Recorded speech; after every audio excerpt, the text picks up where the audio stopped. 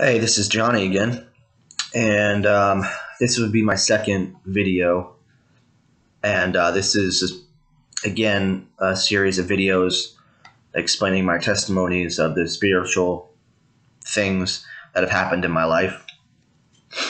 So, with this video, um, I was an adult, a young adult, and it also involved my uh, one of my best friends, um, Joseph Albertsman, or Joey. And we decided to just up and go to California uh, just for no apparent reason. I mean, we told ourselves it was because uh, we couldn't get out of our um, the whole party realm that we were living in and um, so, but that was just a way to justify in our minds why it would be okay to do something like this. But so we just got up and just up and left Florida, and we didn't tell our families or anything. We just left, and um, so we went to California. And along the way, you know, we're reading the Bible and such, and listening to worship music here and there. But um, this one time we we we were almost we were in California and we were heading north, but we had to stop in Los Angeles because we were tired.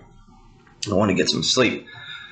And there was the, off the interstate there was these three hotels, and um, all three hotels had uh, that they had vacancy. They had available rooms, and so we went to each hotel looking for a place to stay and every single hotel we went to, the front desk lady told us that there are no rooms available.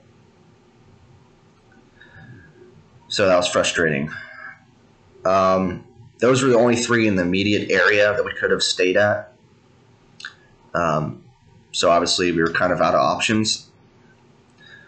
And um, upon leaving the last the last hotel, we were walking through the uh, parking lot back to the car, and I just felt like something was staring at me, like looking at me. You know that feeling you get when you feel like someone's looking at you. Most of the time, you're right. So um, I just looked, and it felt like it was coming from above me. So I looked way up in this hotel, way at the top. There was this um, silhouette of a you know just a, a person. It was dark, and they were just like with the blinds open like this, just like looking down at us like that. And I was like, I looked at had Joey look at it. I was like, is that kind of creepy?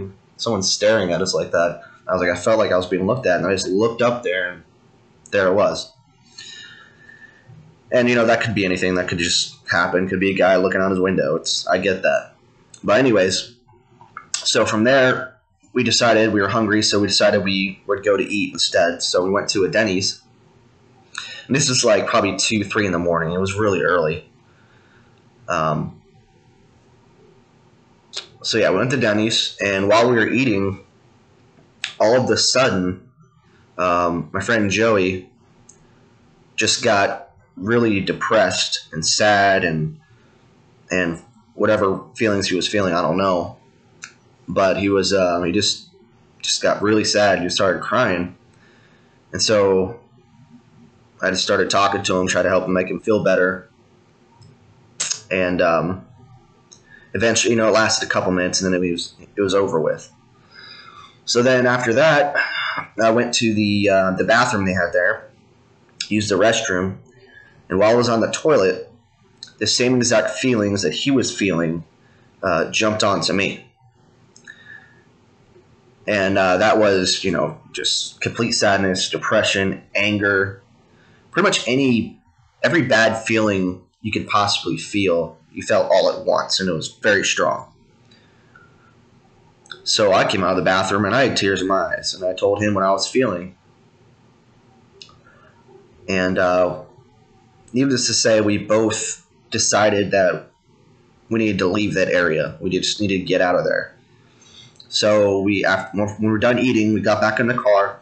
We got back on the highway and started driving. And um, the further and further away we got from that area, the better and better that I felt. Uh, just slowly and surely, I felt better and better. So after a while of driving, um, I, I told Joey to grab the Bible we had and just open it to any page and start reading. So we did that.